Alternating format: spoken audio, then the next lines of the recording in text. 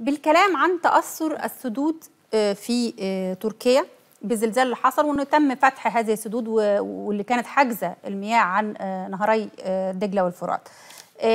بالكلام عن ده وفكرة خطورة هذا في المنطقة وفكرة سد النهضة وفكرة إنه ممكن الزلازل تؤثر على إيه وما تأثرش على إيه وفكرة الملء الرابع وكل هذه التفاصيل. أنا محتاجة أتكلم عن الملء الرابع وإحنا وصلنا لفين ومحتاجة تقولي دلوقتي عن فكرة خطورة الزلازل على فكرة السدود المقامة ومدى مقاومتها للزلازل. السدود هي عبارة عن وزن والبحيرة بحيرة أو خزان السد عبارة عن كمية مياه. هذا هذه الكمية هي وزن أيضا. المشكلة إن هذا الوزن بيبقى وزن جديد يعني ما كانش موجود قبل كده. وبالتالي يبقى تأثيره أقوى وده بياخد سنوات طويلة إلى أن تستقر القشرة الأرضية من تحت السد لأن في البعض في أحد الزملاء اليوم قال طيب ما البحار والمحيطات مليئة بالمياه ليه ما حصلش الزلازل أو لا البحار والمحيطات مليئة بالزلازل بالفعل ولكن مياه البحار والمحيطات بقى لها ملايين السنين وبالتالي الأرض بالنسبة لوزن المياه مستقرة الآن. أما لما بنعمل سد دلوقتي بنخزن فيه كمية مياه خلال سنتين ثلاثة أربعة خمسة يعني سد النهضة على سبيل المثال إن لما يخزن 74 مليار متر مكعب معناها 74 مليار طن. هذا الوزن لم يكن موجودا من قبل وبالتالي الأرض بتحاول إنها يعني تستوعب يعني هذه الثقل ويبقى فيه يعني زي يعني استقرار للأرض. ده بيحدث على هيئة زلازل. إحنا عندنا السد العالي في بعض الزلازل بس الزلازل خفيفة بسبب وزن بحيرة ناصر. لكن منطقة السد العالي منطقة مستقرة.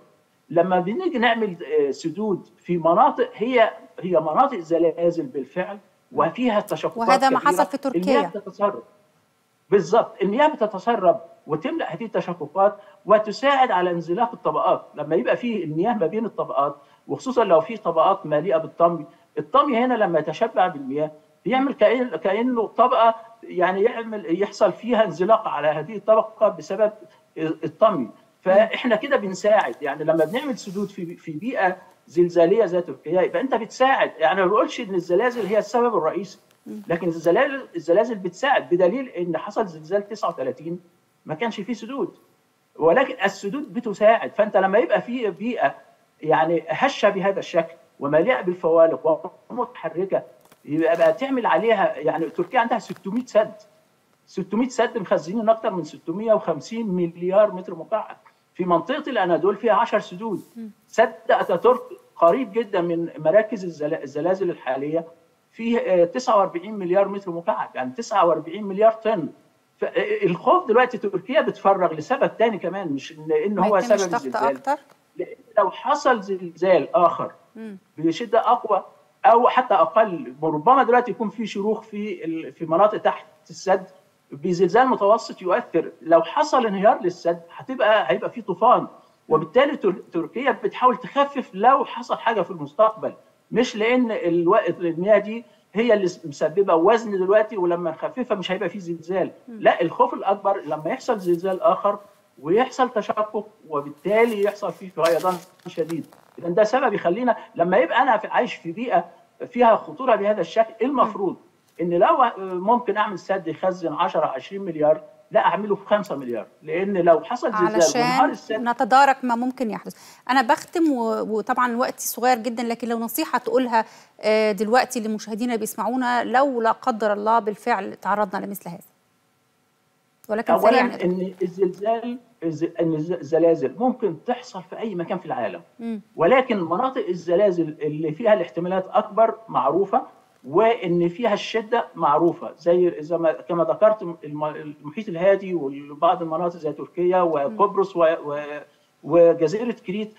يعني في البحر المتوسط قبرص وكريت هي اللي بيحصل فيها الزلازل وتوصلنا موجاتها لأن اتصال إفريقيا بأوروبا في هذه في هذا المكان وليس على شاطئ الإسكندرية، لكن عايز أؤكد على إن مصر موجودة في مناطق مستقرة إلى حد كبير.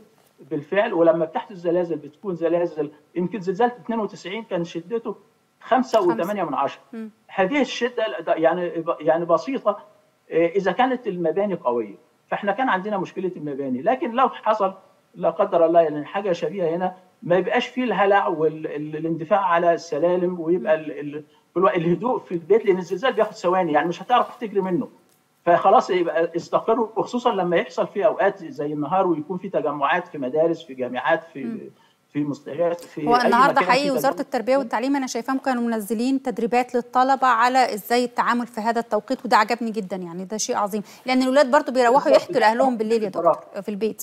بالظبط. إحنا ممكن نعمل برامج توعية في حالة حدوث زلازل أو أي مشاكل من هذا النوع إزاي الإنسان يتصرف؟ لو كان في بيته بيحمي رأسه بينزل تحت ترابيزة لأن ربما حاجة تسقط عليه طيب أو أي حاجة آخر حاجة هل ممكن إثيوبيا تعيد التفكير في الكميات اللي هي هت هتخزنها بعد ما حدث في تركيا من سدود سريعا؟ هل ممكن يعيدوا التفكير في لا تركيا دلوقتي تركيا بتفرغ دلوقتي سدودها وهتفكر 100 مرة مم. قبل ما تعمل لأن هي عندها مشروع جنوب الأناضول يخز...